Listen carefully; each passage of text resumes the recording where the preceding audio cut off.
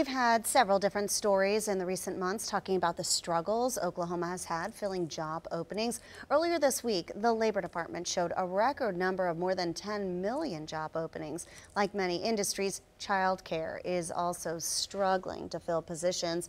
So the Tulsa Community Service Council came up with a way to help childcare professionals and families in desperate need of those professional services. A childcare consultant explained why the council's new job board can help solve the problem.